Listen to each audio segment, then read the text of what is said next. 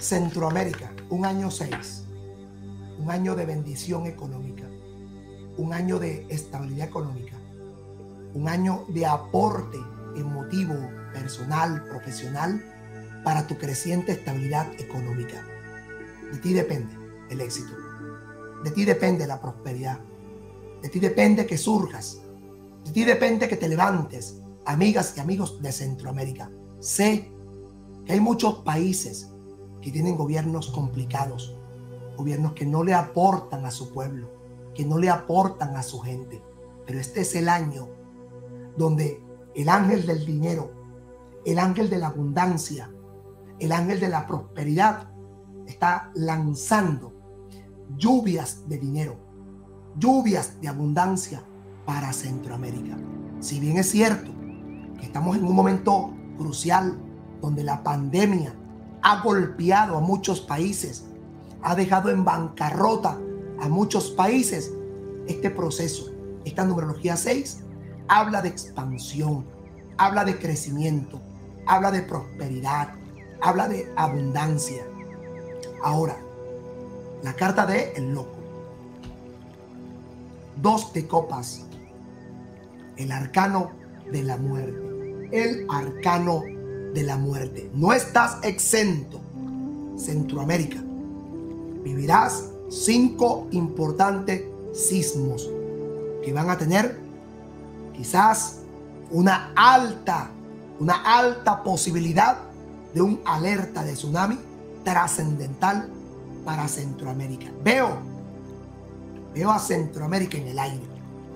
Percibo y siento a Centroamérica como en el aire. Está en un mar flotante. Está en un mar flotante. ¿Qué la detiene en el aire? ¿Qué la detiene elevada por encima del mar a sabiendas que Centroamérica hay algo, percibo, no conozco nada de geología, pero siento, veo un vacío debajo de Centroamérica. Veo un vacío debajo, debajo de toda Centroamérica. Este año, este año 2022, la bendición del dinero. Va a llegar el dinero a donde tú menos te imaginas. A la gente, aparte, la gente va a buscar de prepararse más, va a buscar de crecer más, va a buscar otros horizontes, otros caminos y va a llegar a cumplir ese sueño de la estabilidad para su familia.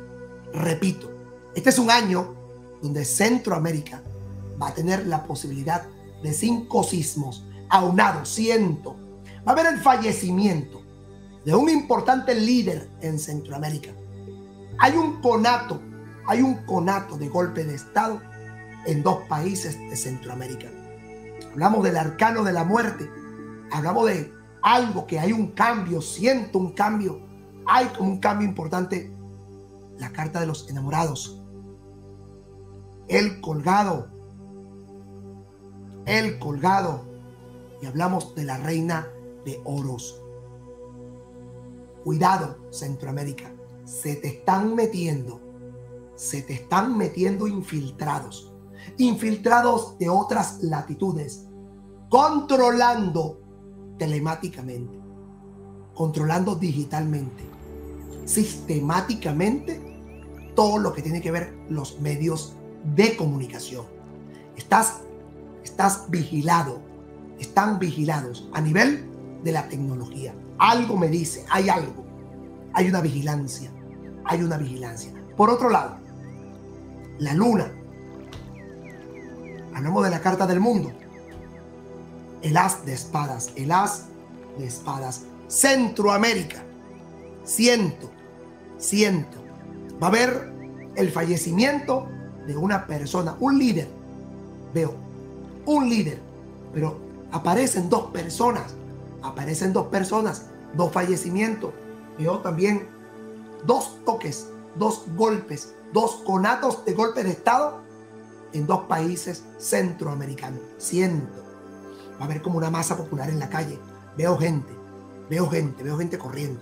Veo mucha gente, veo alianzas, veo alianzas, veo bases militares no correspondientes, no correspondientes a América del Norte, ni de Centroamérica, ni de América del Sur. Veo otra gente, una gente diferente, su textura, su piel, sus facciones son muy distintas a las personas eh, de, de la región de Centroamérica. Cuidado, se estén metiendo, vayan a abrir bases militares o estén abriendo bases militares en Centroamérica de personas de otras latitudes buscando hegemonía territorial para gobernar, dirigir América del Sur, Centroamérica y América del Norte. Cuidado, el enemigo está oculto, señoras y señores. Para México, veamos México. Para mis amigos y amigas de, de México, un país que amo y quiero con mi corazón. Veamos México.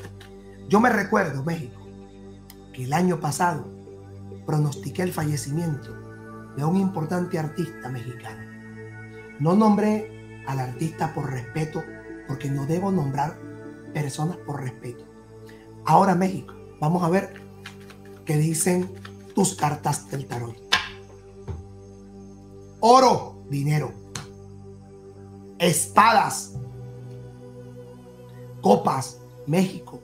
Estás defendiendo lo tuyo a capa y espadas. Estás defendiendo. En este año vas a defender lo tuyo a capa y espadas.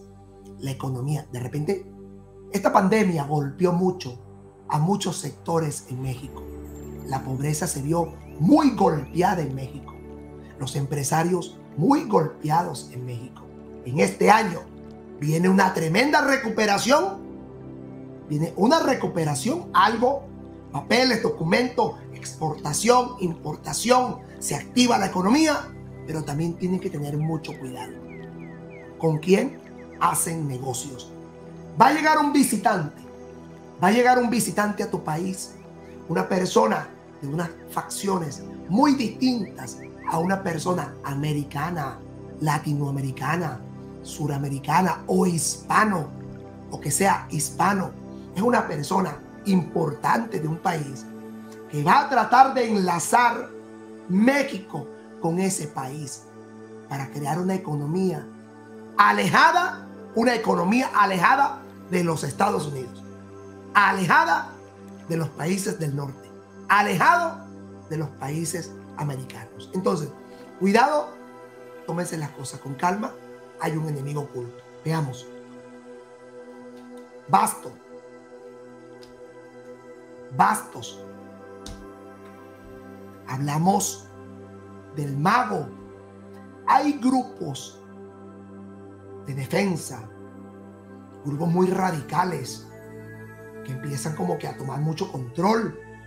Empiezan a quitar personas, importantes personalidades del ámbito político. Hay personas, siento, veo grupos muy radicales, muy radicales, gobernando poniendo y quitando, quitando y poniendo. Veo una persona mandando, pero no veo ese el presidente. No veo al presidente de México. Es alguien civil. Es una persona que gobierna a muchos grupos radicales. Maneja a muchas personas. Veo a esta persona mandando, dirigiendo, poniendo pautas, marcando la pauta. Pero yo lo veo a él, a esta persona, reuniéndose con el presidente de México lo veo reuniéndose en, mi, en mi análisis, en mi espiritualidad. Veo a esta persona, que no sé quién es, lo veo hablando de tú a tú con el presidente de México. Y es como que poniendo pautas, como marcando un antes y un después en el territorio mexicano. Por otro lado, por otro lado, bastos, el poder, copas, el arcano del carro de Hermes. Perdóneme lo que les voy a decir. Yo no conozco México. Solamente estuve una vez y me parece un país excelente, maravilloso y su gente especial. Espero ir pronto. Espero ir pronto. Pero aunque hay una figura de mandato presidencial que se tiene que respetar por todas las cosas, siento que hay una persona que tiene mucho poder. Veo a una persona que no tiene nada que ver con la política, y también tiene mucho poder, un hombre bastante fornido, un hombre de cara redonda. Y veo a esta persona que está como mandando, y tiene grupos alternos de control en todo México. Entonces, veo que este año, aparte de que la economía va a crecer, van a haber cosas, decisiones inesperadas, acciones inesperadas, situaciones inesperadas en el asunto político, en el asunto económico, en el asunto social. Va a haber un accidente. Lamentablemente veo un accidente. Siento un accidente. Percibo un accidente de un importante grupo deportivo. Veo a alguien, veo México entre lágrimas. Veo algo tiene que ver con un grupo deportivo. Veo, este es un año México que tiene que aprovecharlo al máximo, porque se ve una gran economía. Se ve que la bendición del dinero llega. Se ve como que el dinero entra y sale, entra y sale. Pero veo México sentado al presidente de México, sentado con su homólogo, el presidente de los Estados Unidos, el presidente de Canadá. Lo veo como conversando, alineando, poniendo en orden algunas cosas, pero también veo en una conversación muy álgida, quizás tiene que ver acuerdos que no se llegaron, acuerdos que no se pactaron, acuerdos que no se negociaron, y esto por ende ha creado ciertos conflictos, cierta inestabilidad, cierta preocupación en la comunidad mexicana. Veamos, México, veamos.